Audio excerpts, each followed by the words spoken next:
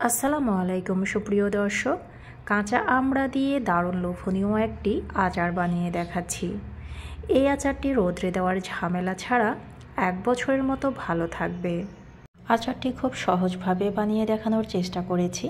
আশা করছি আপনাদের কাছে অনেক ভালো লাগবে। এই জন্য এখানে সাতশো পঞ্চাশ গ্রাম আমড়া নিয়েছি আর আমড়াটি কেটে খুব ভালোভাবে ধুয়ে পরিষ্কার করে নিয়েছি। বটির সাহায্যে আমড়াটিকে কেটে এভাবে টুকরো টুকরো করে নিয়েছি। দেখতে পাচ্ছেন যে কতটুকু পুরুত্ব রেখেছি।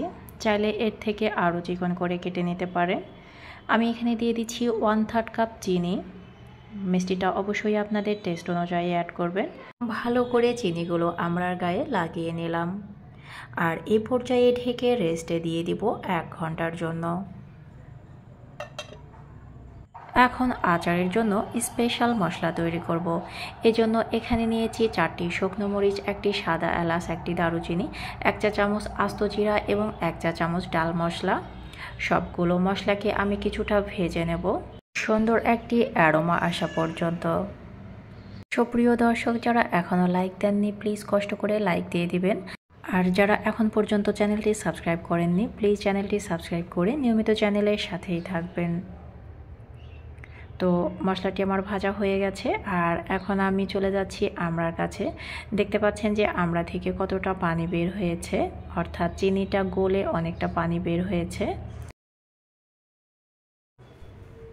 প্যানে দিয়ে দিচ্ছি আমরা আর এখানে আমি কোনো প্রকার পানি ইউজ করব না। আর অপেক্ষা করছি বলক আসা পর্যন্ত।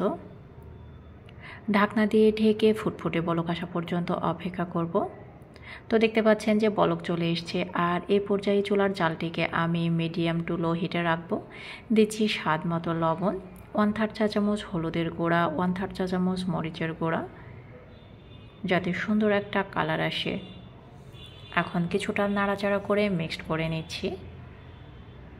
দেন ঢাকনা দিয়ে ঢেকে কিছুক্ষণ অপেক্ষা করব। ফিরে আসলাম কিছুক্ষণ পর। আর এ পর্যায়ে দিয়ে দিচ্ছি যে স্পেশাল মশলা আমি তৈরি করে রেখেছিলাম সেটি।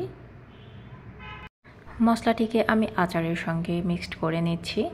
আর এ পর্যায়ে যদি আপনাদের কাছে মনে হয় যে আমড়াটা গলে যায়নি বা সেদ্ধ ভালোভাবে হয়নি, সেক্ষেত্রে কিছুটা পানি অ্যাড করতে পারেন। তো এ পর্যায়ে আমি একদম লো হিটে রাখব। আর দেখতে পাচ্ছেন যে ঝোল টেনে এসেছে। এখন আমি চুলাটি বন্ধ করে ঢাকনা দিয়ে ঢেকে দমে রাখব পাঁচ মিনিটের জন্য। এখন আচারটি আমি তেলে দেব, যার কারণে এখানে একটি প্যান নিয়েছি, পরিমাণ মতো সরিষার তেল দিয়েছি। দিচ্ছি একটি রসুন থেতো। আচারে রসুন দিলে খুব সুন্দর একটা ফ্লেভার আসে। রসুনটি আমি ব্রাউন কালার করে ভেজে নেব। রসুনের ব্রাউন কালার চলে এসেছে, এখন আমি দিয়ে দিচ্ছি আচার। আর এই সময় আচার থেকে খুব সুন্দর একটা ফ্লেভার আসবে, যার কারণে আচারটি খেতে খুব মজা লাগবে। তো কিছুটা নাড়াচাড়া করে নিচ্ছি। এখন আমরার সিজন চলছে, তাই চাইলে আপনারা যে কোনো সময় এরকম মজার আর খুব সহজ একটি আচার রেসিপি তৈরি করতে পারেন। এখন ঢাকনা দিয়ে ঢেকে চুলাটি বন্ধ করে আমি দমে রাখব পাঁচ মিনিট। ফিরে আসলাম পাঁচ মিনিট পর, আর দেখতে পাচ্ছেন যে কতটা সুন্দর লুকিং হয়েছে।